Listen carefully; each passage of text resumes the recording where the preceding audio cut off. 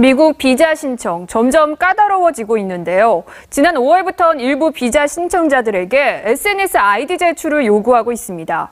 미국 유학 또는 취업 희망자들의 SNS 자기 검열이 심해지고 있습니다. 김도영 기자가 취재했습니다. 미국 취업을 준비 중인 29살 박모 씨. 박 씨는 최근 자신의 SNS에 중동 지역과 관련한 게시물이 없는지 샅샅이 뒤졌습니다. 비자 신청 때 불리할 수 있다는 걱정 때문이었습니다. 사소한 게 걸려서 혹시나 입국을 못하지 않을까 하는 걱정은 되죠.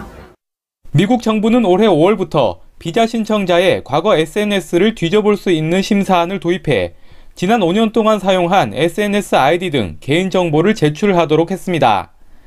이 때문에 미국 유학 커뮤니티 등에선 왜 사생활까지 다 공개해야 하냐며 푸념이 쏟아집니다.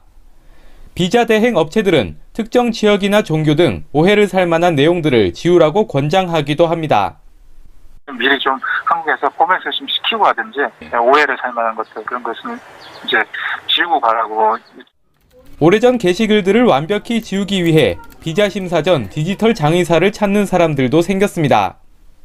저희한테 맡기는 게 더 검색 옵션이라든지 더 자기 정보를 디테일하게 찾을 수 있어서 하지만 비자를 받는다 해도 입국 심사 과정에서 거부를 당하는 사례도 많아 미국행 장벽은 갈수록 높아지고 있습니다. TV조선 김도영입니다. 네, 트럼프 행정부가 모든 비자 신청자에게 과거 5년치 소셜미디어 계정 정보를 의무적으로 제출하도록 했습니다. 현지 시간으로 30일 미 언론에 따르면 국무부는 비자 신청 시 최근 5년간 사용했던 페이스북과 트위터, 인스타그램 등 소셜미디어 계정 아이디를 제출하고 같은 기간 이용한 이메일 주소와 국외 여행 기록 등을 기재하도록 했습니다. 해당 조치는 외교관과 공무 비자를 제외한 모든 비자 신청자와 이민 신청자에게 적용돼 유학과 출장, 휴가 등을 위해 비자를 신청하는 1,400만 명 이상에게 영향을 줄 전망입니다.